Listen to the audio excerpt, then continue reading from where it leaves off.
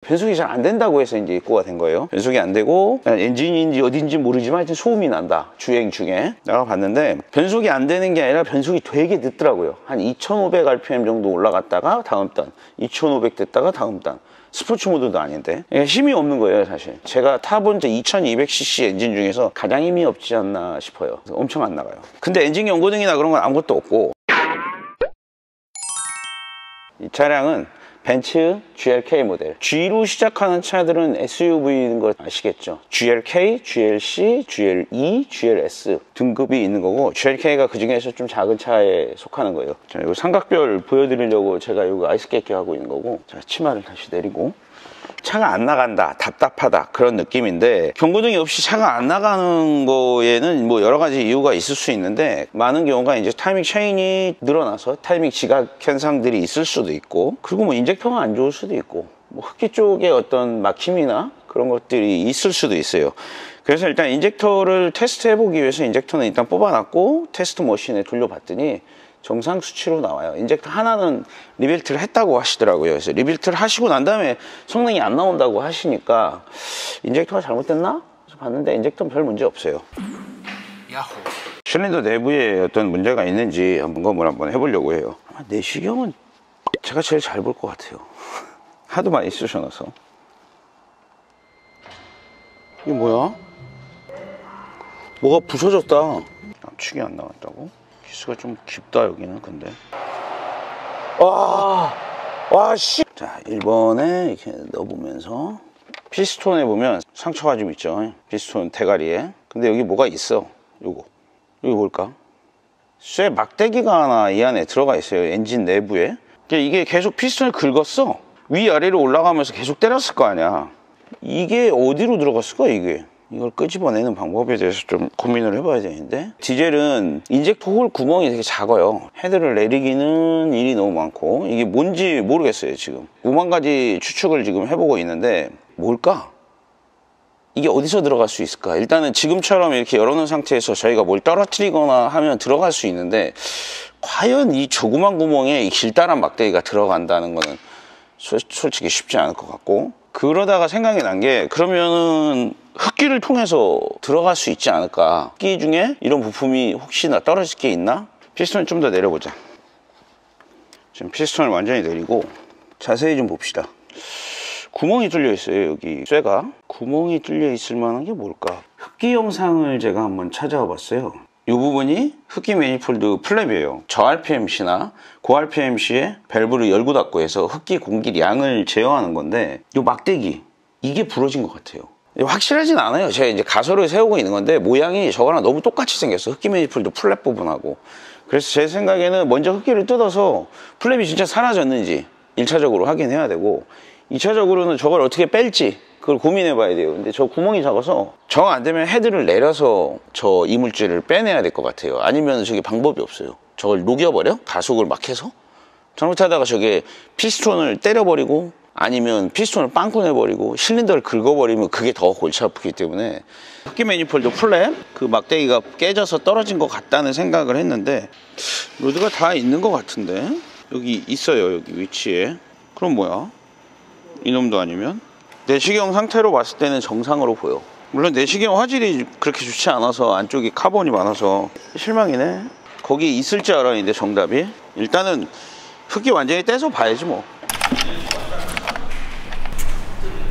흡기에서도 별다른 이상이 없었기 때문에 그 정체를 밝히기 위해서 헤드를 한번 오픈하려고 해요. 오픈? 밸브로 들어가기도 어려운 길이 아니야 이거? 이게 어떻게 이게 어떻게 들어오지? 뭔지를 모르겠네. 전혀 짐작이 안 가는데? 뭔가가 어디서 떨어져서 이게 들어온 건데. 부러진 것도 아니고. 여기도 떨어질 게 없고. 뭔가 억지로 끼워 맞추려는. 네. 다른 차 거를 봐도 동일한데? 두께도 동일하고. 뭐 다른 게 없는데? 이해가 안 되네. 어디서 이 큰 게 들어올 수가 있냐? 여기 찍히는 적도 있네 이렇게 인젝터를 뺐다 끼면서 뭔가 빠뜨렸을까? 구리라 자석도 안 붙었었단 말이야 이게 과연 차가 안 나가는 데의 원인이 될 수 있을까? 연소실이 여기란 말이야 디젤은 그리고 공기를 압축하고 연료를 분사하는데 걔가 중간에 있어. 분사가 무화 형태로 이렇게 분사가 되거든요.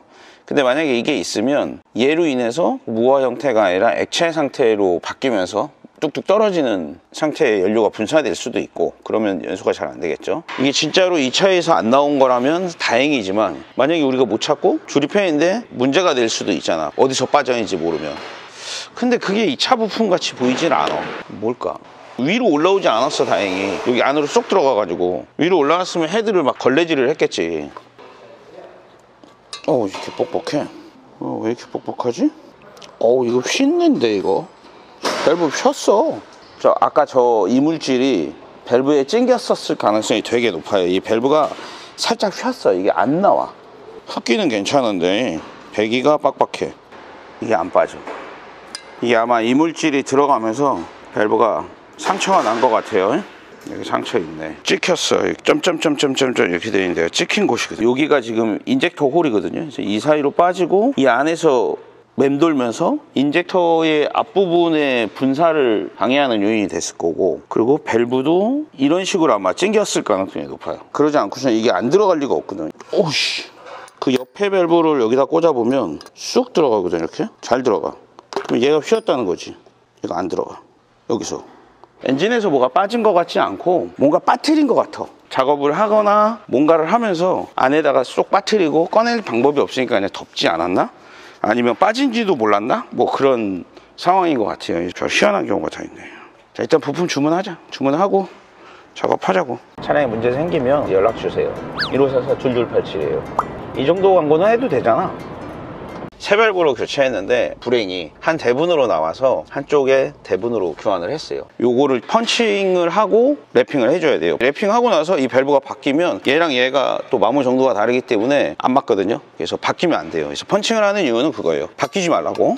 일종의 결혼식과 같은 거예요. 바람 피지 말라고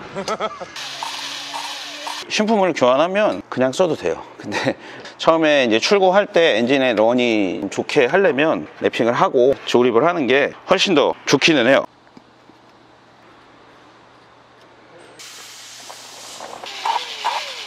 배기 밸브는 신품으로 전부 다 교체를 해서 밸브 랩핑까지 완료를 했어요. 그리고 흡기 밸브도 같이 랩핑을 해서 또 압축이 좀안 새게 만들어 줬어요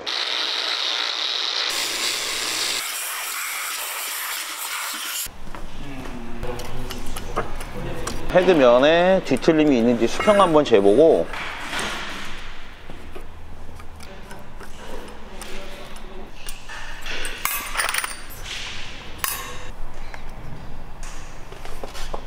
가이드실 장착해서 헤드 조립을 완료할게요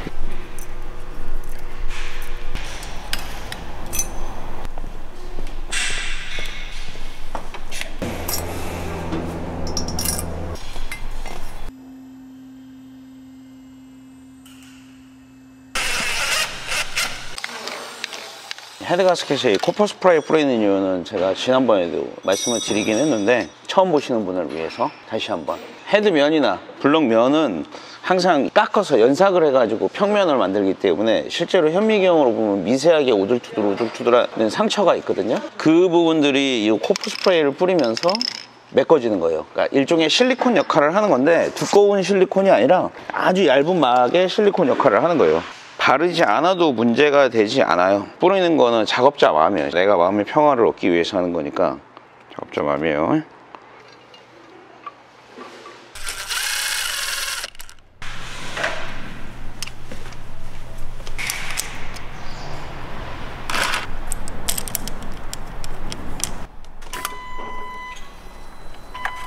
응 걸어봐.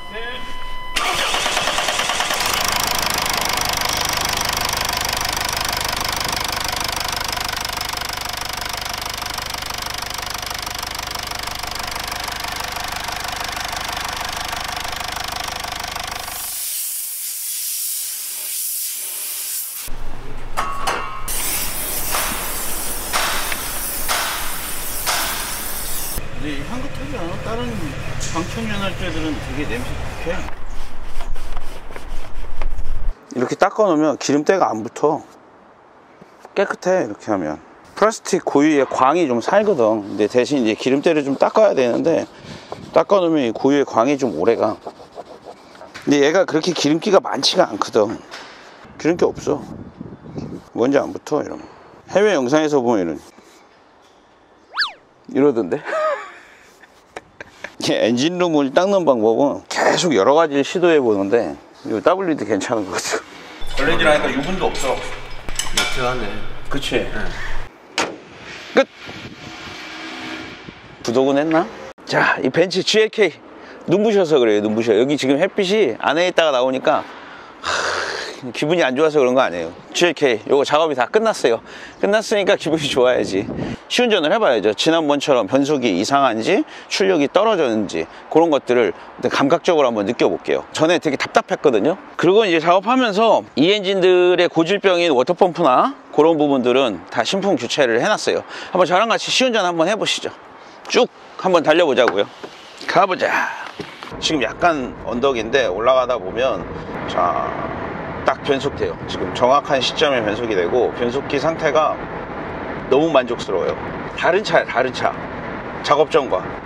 오 좋아 처음에 방문하셨을 때는 중고차를 구매하시고 maintenance 때문에 방문을 하셔가지고 기초적인 maintenance를 수행을 했었어요. 중고차 점검할 때는 사실 차량의 출력이나 그런 부분 점검할 수 없었고 일상적으로 오일이 누유되는 부분 그리고 차량의 어떤 소모품 관리 측면에서 점검을 했었고 그때는 이제 뭐 브레이크라든지 그런 부분들이 문제가 있었고 오일 누유나 그런 게 전혀 없었기 때문에 어, 문제 없습니다라고 출고를 했었고 변속이 지연이 되 거나 그런 문제들은 운행을 해야지만 느낄 수 있는 부분인데 차주분께서 이제 며칠 운행해 보니까 아 차가 좀 답답해 그렇게 말씀하신 거고 우리가 이제 일상적으로 중고차를 가져오셨을 때 느낄 수 있는 영역은 사실상 안 돼요. 왜냐하면 모든 출력이 떨어진 차들을 우리가 점검을 한다고 뭐 다이나모에다 올려가지고 출력을 점검하고 할 수는 없고 시운전을 한다 하더라도 짧은 코스를 시운전하면서 와 이 차가 이상해 라고 하기에는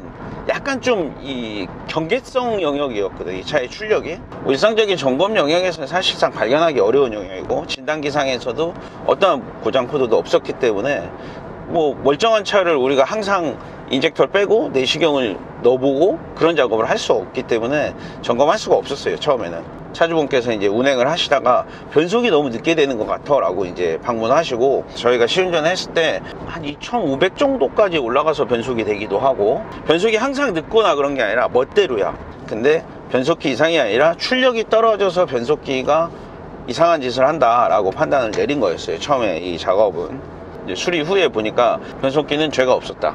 보통 이제 출력이 떨어지는 차들, 그러니까 변속이 이상하다라고 하는 차들을 보면 변속기가 실제로 망가진 경우들도 굉장히 많지만 반대로 엔진의 출력이 떨어졌을 경우에 변속의 패턴이 완전히 이상해지는 경우들도 있거든요.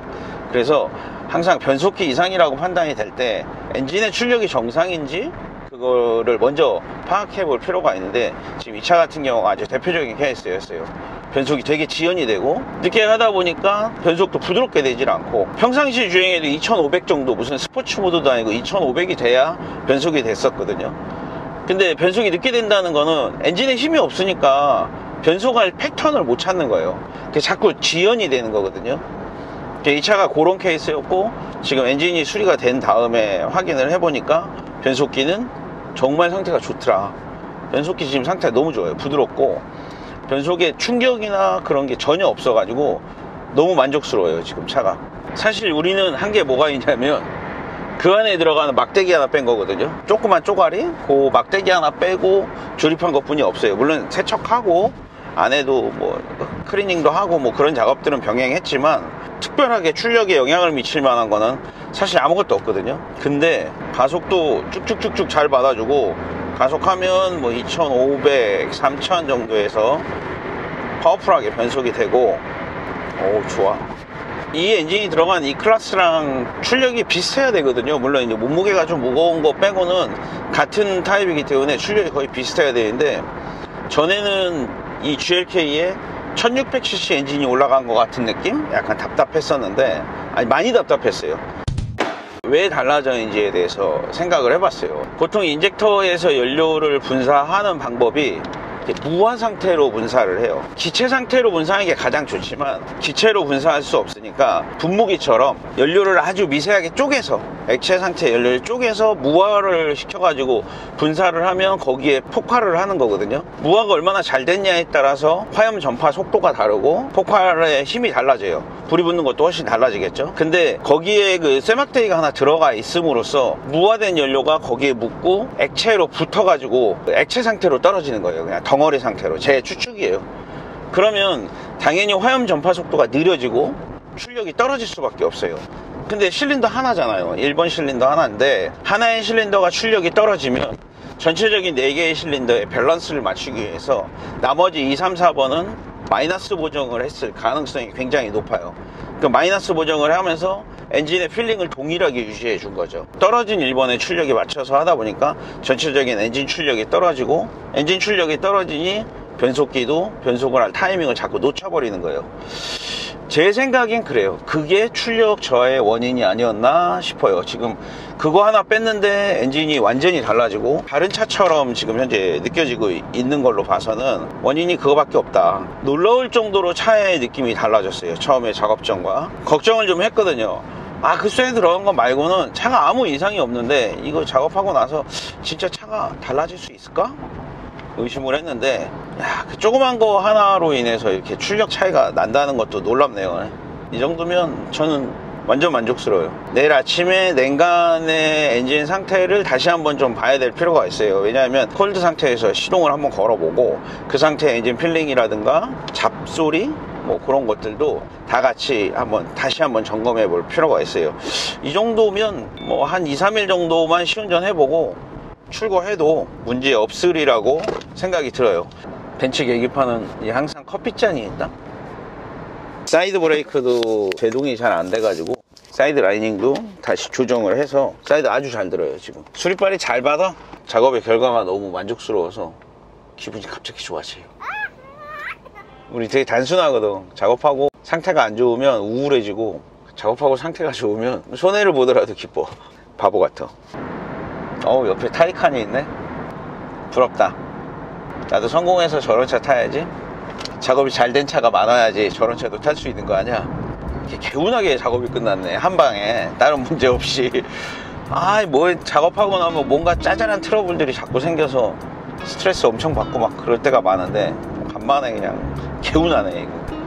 땀 흘리고 목욕 싹 하는 느낌이야.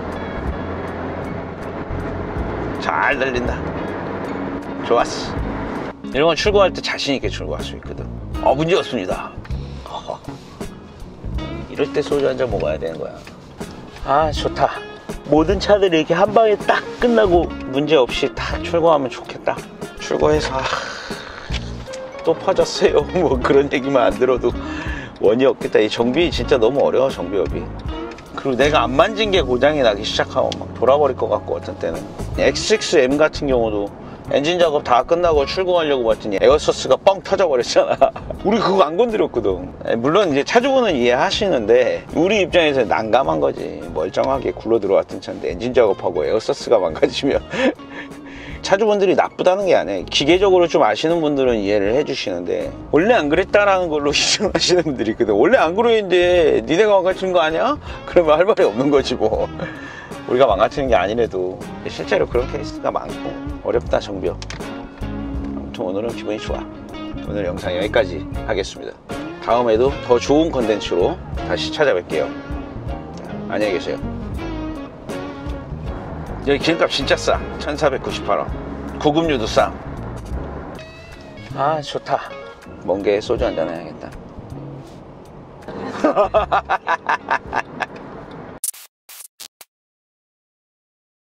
쇠 막대기가 하나 이 안에 범죄 도구니까 보관하고 있었거든요. 작업하면서 너무 궁금했었거든요. 이게 뭔지. 댓글이 계속 달리더라고요. 노기스 한번 꺼내봐. 분해를 한번 해볼게요. 진짜 똑같은지. 바보 같지 않아?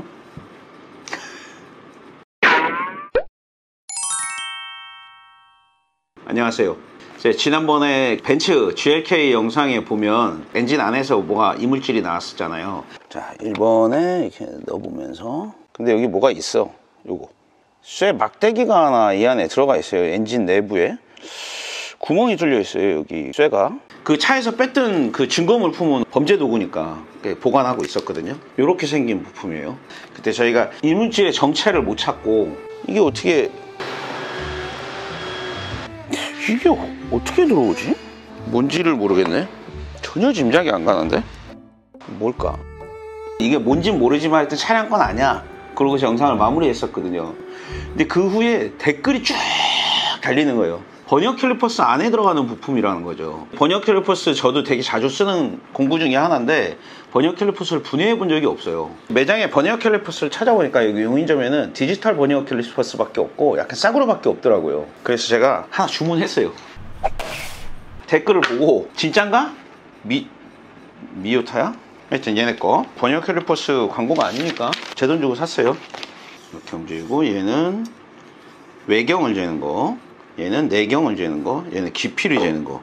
여기 잠금쇠가 있거든요 여기 잠금. 댓글의 의견은 스토퍼라고 해서 요 사이에 들어있는 부품이라고 하더라고요. 제가 생각했던 거는 요 부품이 버니어 캘리퍼스 부품이라면 요렇게 해서 깊이를 잴 때 떨어질 수 있겠구나 싶어서 분해를 한번 해볼게요. 진짜 똑같은지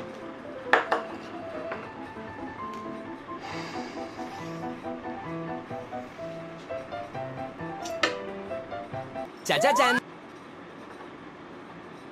똑같아. 똑같아, 똑같아. 똑같죠. 번역 캘리퍼스의 사이즈에 따라서 이 길이만 다를 뿐이지 다른 부품이 아닌 것 같아요. 길이는 도- 다를 수 있는데 구조가 완전히 똑같지 않아요, 이거? 야, 이거 이걸 누가 알아?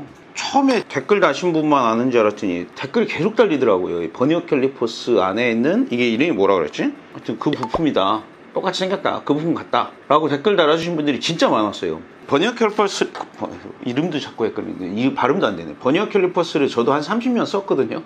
저 굉장히 좋아하는 측정 도구인데도 불구하고 한 번도 저 이렇게 빼본 적이 없었어요. 그래서 이런 게 있는지도 몰랐어, 사실.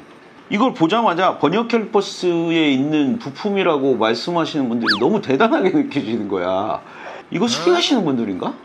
이게 보니까 따로 부품을 팔더라고요. 여기에 꽂혀 있는 거기 때문에 고정하는 요 볼트가 풀리거나 했을 때 빠질 수도 있다는 생각이 들어요. 이거 없이 끼면 어떻게 되나? 아, 없이 끼면 이게 노네. 이렇게 노네. 깊이를 측정할 일이 생겨서 측정을 하다가 빠질 수도 있겠다는 생각이 들어요.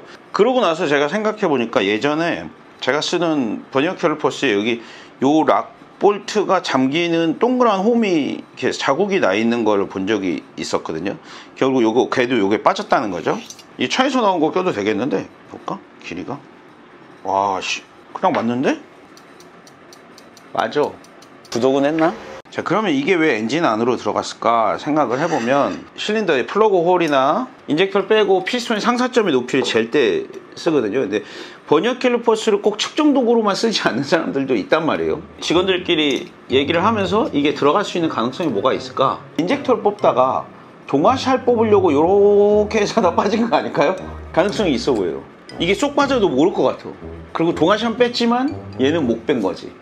AS 영상이에요, AS 영상. 그때 작업하면서 너무 궁금했었거든, 이게 뭔지. 정체가 뭔지 너무 궁금했었고, 그때 영상에 보면 흡기 매니폴드의 부품인가? 아니면 뭐, EGR 쿨러를 보면서 여기서 나올 수 있을까? 그래서 막 이것저것 찾아봤었는데, 버니어 캘리퍼스를 한 번이라도 분해해 봤었으면, 내시경을 꽂아 놨을 때, 어, 이거 버니어 캘리퍼스 부품이네. 딱 단정을 졌어야 되는데 아직 제가 좀 경험이 부족한가 봐요. 제가 봐도 이거 들어간 지가 이렇게 오래된 걸로 보이진 않거든요. 얘기를 들어보면 중고차를 사오시고 보증보험으로 다른 수리를 하신 다음에 변속이 이상하고 막 그랬다고 하시는 거 보니까 제가 확실한 건 아니에요. 이거 확실하다고 생각하시면 안 되니까 이렇게 이렇게, 이렇게 하다가 빠지지 않았을까 생각이 들고 번역 캘리퍼스를 사용하면서 이거에 별로 신경을 안 쓰고 깊이를 잴 수 있단 말이에요.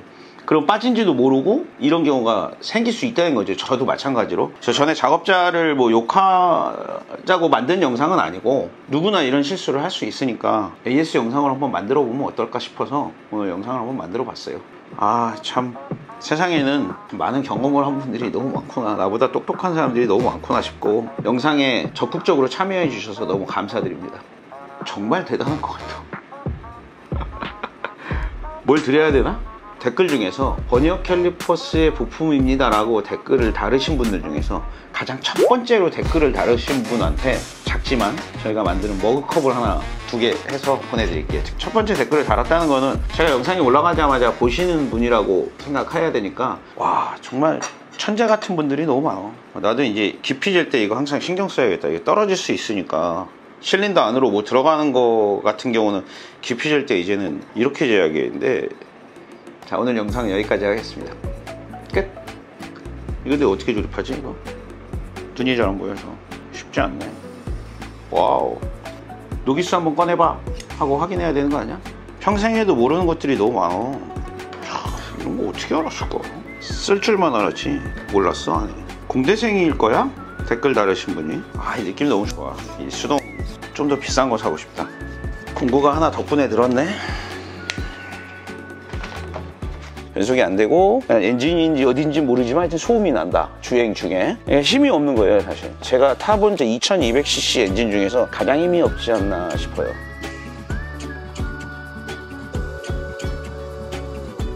다른 차야 다른 차. 작업 점과. 오 좋아. 진짜 차가 달라질 수 있을까? 의심을 했는데 완전 만족스러워요.